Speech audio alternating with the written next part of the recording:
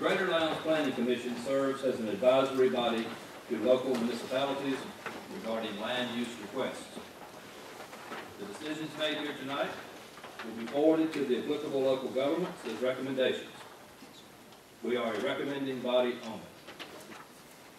Final decisions regarding tonight's requests will be made by the appropriate local governments at their respective meetings.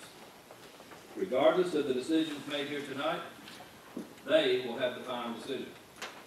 All interested persons should attend the local government public hearings regarding tonight's cases.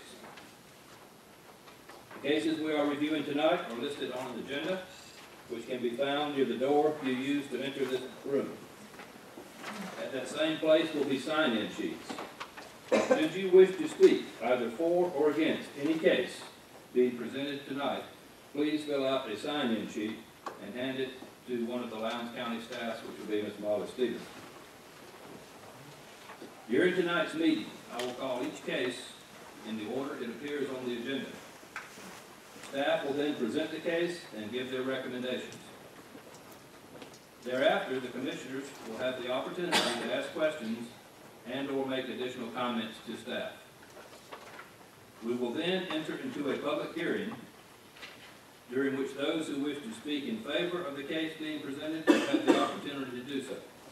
After that, those who wish to speak against the case being presented will have the opportunity to do so. Georgia law requires we allow ten minutes to each side of an issue. When coming forward to speak, please state your name and address before giving your presentation or making your comments. While speaking, please direct your comments only to the planning commission board. Do not direct any comments to staff or to the audience, or to anyone other than the planning commission board.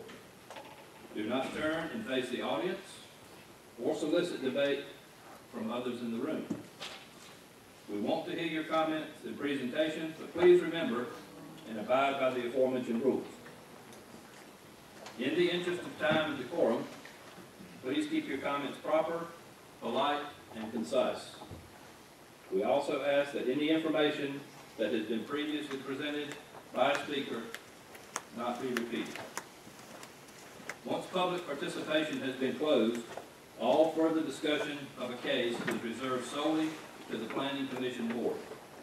A vote will then be called, and once the vote has been recorded, the case will be considered closed. The cases we hear from the city of Valdosta tonight will be heard again by the Valdosta City Council on Thursday, March seventh, at five thirty P M.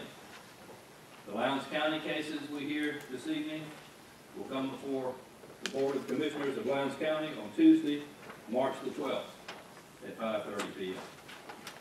Please attend those meetings should you have interest in tonight's cases.